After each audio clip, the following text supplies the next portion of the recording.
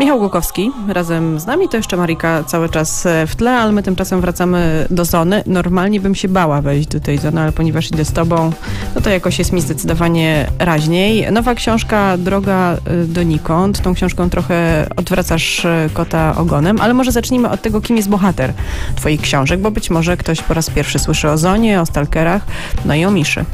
Bohaterem moich książek jest Misza, czyli w domyśle można się nazywać, że prawdopodobnie był to Michaił, który pewnego dnia budzi się w swoim pięknym, bogatym mieszkaniu na najwyższym piętrze jakiegoś apartamentowca. Budzi się i dochodzi do wniosku, że nie da rady kolejnego dnia w tym wytrzymać. Że po prostu ma tego dość. Ma wszystko w zasięgu ręki, ale tak naprawdę mając wszystko, nie ma nic. Normalny człowiek pojechałby na jakieś fajne wakacje. Wiesz co, nie wiem, czy normalny człowiek by pojechał na wakacje. Nie miałaś nigdy ataku takiego prawdziwego weltszmercu?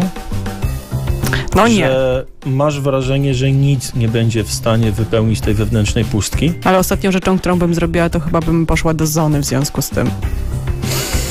Grałaś kiedyś na komputerze w grę z kodami na tak zwanych cheatach? Nigdy w życiu. To jest najlepszy sposób, żeby się znudzić. Bo w momencie, w którym nie mogą ci nic zrobić, a ty możesz wszystko, to ta gra błyskawicznie traci sens.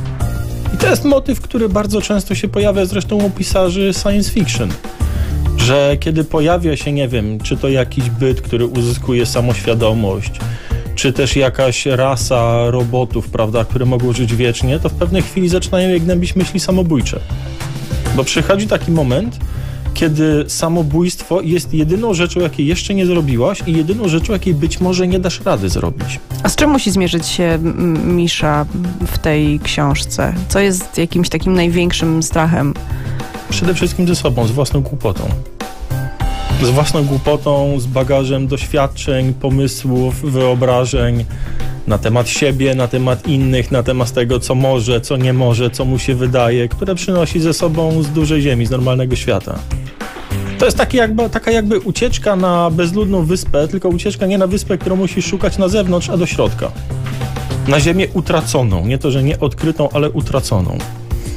No ja myślę, że teraz wiele osób, które y, cię słucha, myśli sobie, że ma podobnie jak Misza, czyli materialnie ma y, bardzo dużo, ale gdzieś tam czuje, że stoi pod murem. Ale to nie wystarczy. Nie wiem, czy w związku z tym ruszą do zony, ale ciekawe jest to, że ty sam w głębi duszy jesteś y, stalkerem.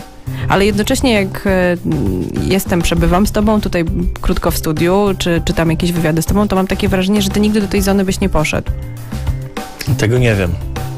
Bardzo ciężko jest odpowiadać na to, co by się zrobiło w sytuacji hipotetycznej, która jeszcze nie zaistniała. Ja Ale mam takie wrażenie, że ciebie do tej zony wcale, wcale nie ciągnie. Bo mi jest dobrze w moim życiu. Ja lubię moją robotę, kocham moją rodzinę, mam cudowną, śliczną żonę, uroczą, siedmioletnią córkę i ja lubię swoje życie, natomiast bardzo łatwo jest mi sobie wyobrazić moment, kiedy przekroczyłbym jakąś granicę, której nie powinienem przekraczać i powiedziałbym, cholera, nic z tego mnie już nie bawi. No i właśnie między innymi o przekraczaniu granic są twoje książki. Ty oprócz tego, że jesteś pisarzem, to jesteś także biegłym tłumaczem. Czy to właśnie w tym środowisku będzie się działa twoja najnowsza książka, która jeszcze nie powstała, ale jest już w głowie? Nie ukrywam, że wczoraj został mi sprzedany, śmiem twierdzić, fascynujący pomysł na książkę, której centrum byliby właśnie tłumacze dwaj tłumacze i siedzi to we mnie od wczoraj. Nie wiem, czy, czy faktycznie się za to nie wezmę w przeciągu no, jakiejś tam przewidywanej przyszło, przyszłości, nie wiem, roku, dwóch lat, coś takiego. Pomysł jest rzeczywiście ciekawy, bo chyba mocno niewykorzystany. No to jest już pomysł, jest już dwóch bohaterów. To tak, dobrze. No, bo inaczej się nie da, oczywiście. to dobrze. Wróżę, a tymczasem odsyłam was do książki, która już jest, już jest napisana i jest już w księgarniach. To jest książka Droga donikąd Michała Gołkowskiego. Michał Gołkowski dzisiaj razem z nami. Bardzo dziękuję. Dzięki.